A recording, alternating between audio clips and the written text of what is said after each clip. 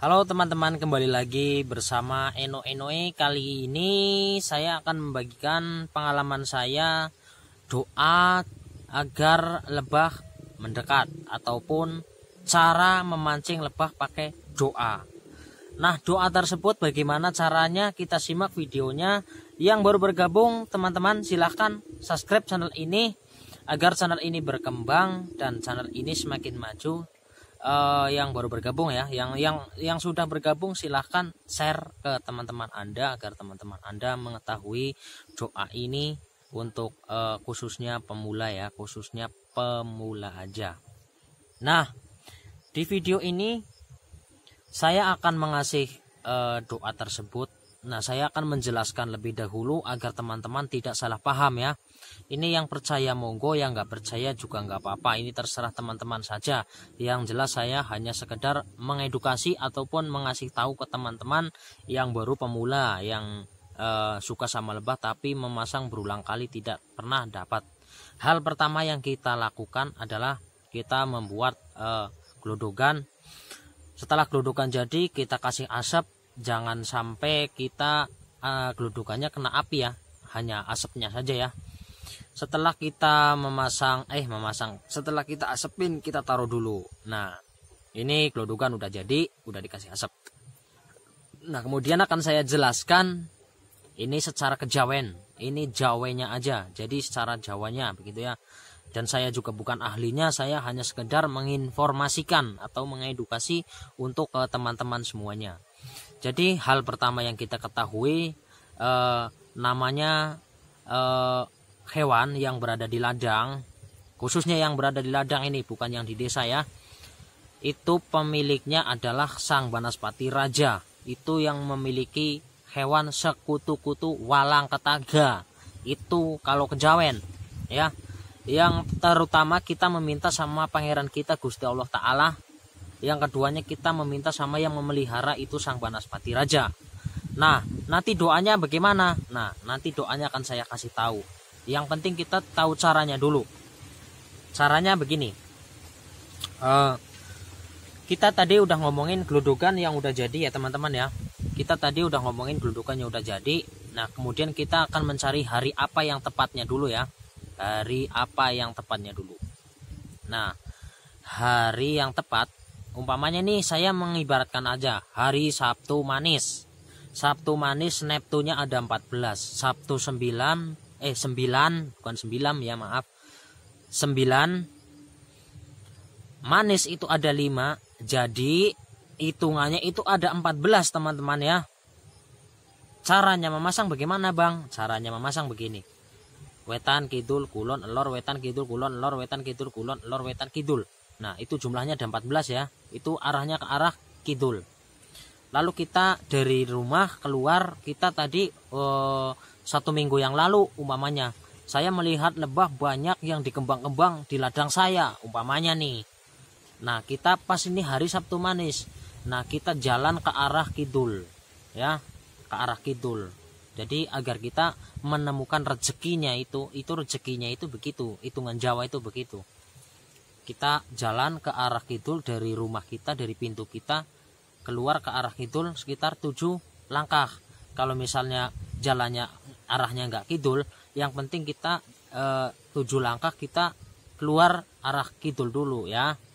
Nah kemudian itu ada larangannya juga teman-teman ya. Kalau kita udah memanggul di sebelah kiri di kiri aja jangan dipindah-pindah. Kanan kiri kanan kiri jangan ya. Kalau udah dipindah apa kalau dari rumah kita bawa dari sebelah kanan kanan aja sampai sampai ke tempat. Harus kanan kanan terus kiri kiri terus. Begitu pula kalau udah isi kalau kita mau pindah kanan kanan terus kiri kiri terus. Jadi tidak akan pindah-pindah ke mana-mana. Itu menurut kejawen katanya ya. Terus kita pasangin pintu nih umpamanya pintu nih. Ya ini umpamanya pintu nih daun. Tapi saya ibaratkan begitu ya ini daun teman-teman ya tapi saya ibaratkan ini glodogan nah glodogannya kita pasangin ke arah kidul. Seumpama ini saya mengarahnya arah kidul. Nah ini pintu seperti ini ya. Saya ke situ arah kidul. Kemudian caranya bagaimana bang? Doanya. Nah caranya begini. Terutama kita meminta sama yang kuasa ya karena itu rezeki kita teman-teman ya kemudian kita meminta sama sang Banaspati Raja. Doanya begini. Silahkan simak baik-baik teman ya. E, untuk pemula khususnya yang udah ahlinya nggak apa-apa. Tapi banyak juga yang tidak memakai doa tidak memakai ini dan itu gula atau apa.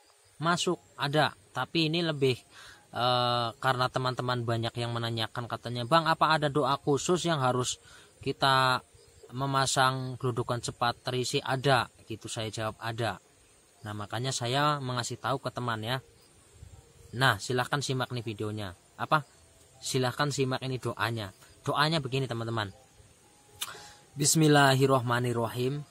Sang Banaspati Raja, aku njaluk ingon ningonmu. Wetan kidul kulon lor. Ah, pasar gede. Sing ana pasar gede nang kene panggonane.